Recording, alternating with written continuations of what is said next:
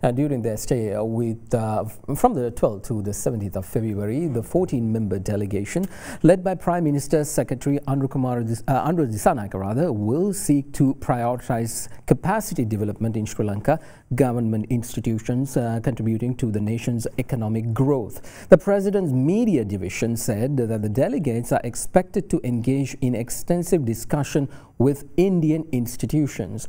The program scheduled to be conducted at India's National Center for Good Governance will cover various topics including digitization, capacity development, anti-corruption measures and investment facilitation.